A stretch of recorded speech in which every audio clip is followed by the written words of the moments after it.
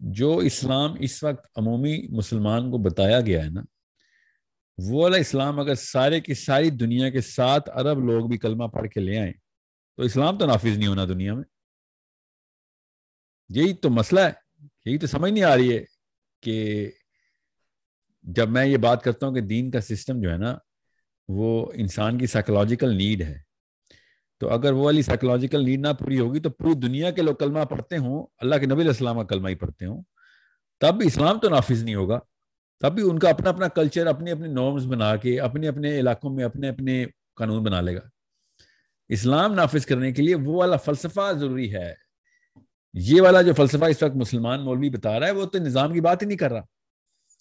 वो तो अखलाक की बात कर रहा है, बस बिहेवियर बहुत अच्छा हो नाइस तरीके से सलाम करते हो झूठ ना बोलते हो, ये ना करते हो। ठीक है बिल्कुल सही कह रहे हैं आप, मगर जैसे क्या, क्यों ना झूठ बोलते हो? क्यों नमाज़ पढ़ते हो? क्यों जहाद करते हो? क्यों हज करते हो? क्यों रोज़े रखते हो? पीछे कोई एक सोर्सिंग होती है, उसे क्या होगा? किस मशीन का हिस्सा है ये सारे के सारे पुर्जे? वो मशीन किधर है? उसका क्या नाम उसका काम क्या है? वो किसी पैदा होने वाले लोगों की बका कैसे करती है? समझ रहे ये बुद्ध मत के पुजारी अपने आप को इस्लाम के बैनर के अंदर लेके आ गए मैं फिर बता दूँ, तजकिया नफ्स का बुद्ध मत से अच्छा कोई मज़हब नहीं है। टेस्ट करके देख लें। इस्लाम तजकिया नफ्स को निज़ाम के थ्रू क्लीन करता है। कम्युनिटी एक इंडिविजुअल को क्लीन करती है। इस्लाम का फ़र्क क्या बुद्धिज्म में और इस्लाम में। बुद्धिज्म इंडिविजुअल रख के साथ बाँध के साफ़ होता है। मुसलमानों को भी इसी टेक्निक पर डाला हुआ है।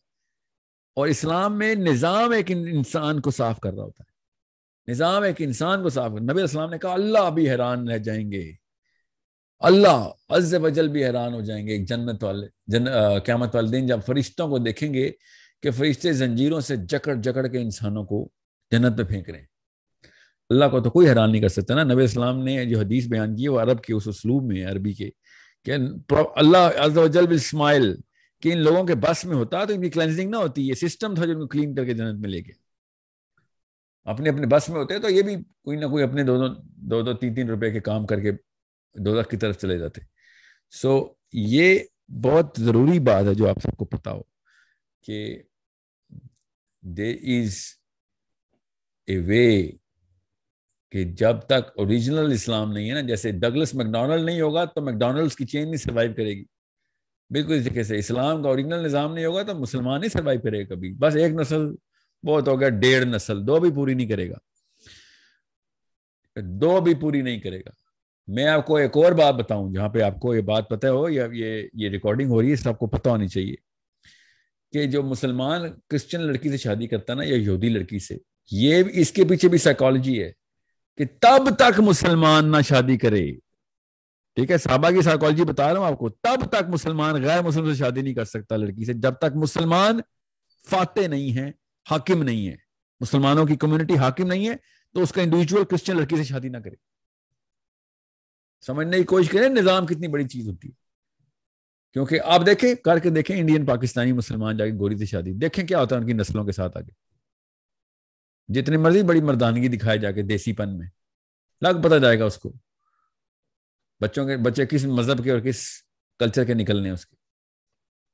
जब तक मुसलमान निज़ाम में नहीं है तब तक इंडिविजुअल गैर मुस्लिम हाँ, अहले किताब से शादी भी नहीं कर सकता। सो so, ये सारा का सारा साइकोलॉजिकल ऑर्गेनिक केमिस्ट्री खुद बता रही है। इसे मेरे बताने की ज़रूरत नहीं है तो आप कह रहे हैं ना कि अल्लाह के मोजात दिखाएँ जो सारे मुसलमान तो क्या होगा? इस्लाम तो नाफिज नहीं होगा। इस्लाम की सोच नाफिज हो जाएगी। इस्लाम का निज़ाम ही नाफिज होगा। इस्लाम की सोच नाफिज का मतलब है कि अल्लाह के बारे में लोग बात किया करेंगे। वो तो अभी भी पचास हज़ार मज़हब खुले में वो उसी अल्लाह की बात करते हैं। और तो ये वाला आर्ग्यूमेंट भी जो है ना, वो भी लोगों का सप्रेस कर दूँ। कि जो लोग कहते रहते हैं मुसलमानों को कि हाँ हिंदुओं का भी अल्लाह और है तो उसका भी उनकी किताब हो रहा है, और सॉरी, उनका अल्लाह हो रहा है यहूदियों का अल्लाह हो रहा है, क्रिश्चियंस का अल्लाह हो रहा है तो किसके अल्लाह को माने? और किसी अल्लाह को आप माने ना माने, आप किताबों को कंपेयर करते होते हैं। अल्लाह नहीं कंपेयर करते होते। यहूदियों का अल्लाह भी वही है जो मेरा अल्लाह है। हिंदुओं का अल्लाह भी वही है जो मेरा अल्लाह है। मुझे बता, किताब किसकी दुरुस्त है? वो तो आप इंसानों के लिए है ना। किताब तो अल्लाह ने इंसानों के लिए लिखी ना आपके देख लेते कौन सी इंसान, कौन सी किताब ज़्यादा गहरी है। तोल के देख लो कितनी वजनी कौन सी किताब है। मुवजना करो किसमें वज़न ज़्यादा है किसमें को, कोहेरेंस ज़्यादा है किसमें मंतक ज़्यादा है किसमें सोल्यूशन ज़्यादा है। आपके देख लेते हैं इसकी निशानियाँ किस जगह पे जाके प्लेस होती हैं। जैसे किताब दुरुस्त होगी उसका अल्लाह ही दुरुस्त हो रहेगा। अगर आपको लगता है अगर अल्लाह है हमें मुझे तो पता है ना जो अल्लाह के मानने वाले जिस मर्ज़ी नाम से ईसाई हो यहूदी वो उसी अल्लाह को मानते हैं। ठीक है? तो ये दहरियों का दो रुपए का आर्ग्यूमेंट है कि हर हर का अपना अपना रब है। तुझे तो रब का ही कॉन्सेप्ट नहीं पता तो हर का अपना अपना कैसे रब हो सकता है? ठीक है? एथिस्ट का भी वही रब है कि जो मुसलमानों का रब है। एथिस्ट बोले ना कि हाँ हिंदुओं का अलग रब है, कहना नहीं, तेरे, तेरा भी वही रब है जो मेरा रब है। टेंशन ना ले, तू किताबें कंपेयर किया कर। तू रब रब ना कंपेयर कर।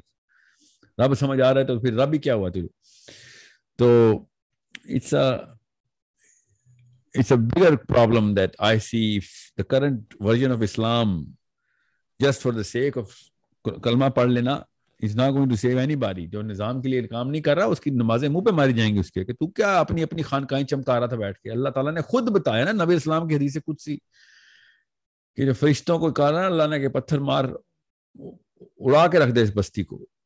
तो फरिश्तों ने कहा, या अल्लाह, नीचे कुछ ऐसे जाहिदीन बैठे हैं जो सिर्फ़ जब से पैदा हुए आप तक, अभी तक आपका नाम लेते हैं, अल्लाह अल्लाह कर रहे हैं, बस सिर्फ़ आपकी इबादत गुजार है।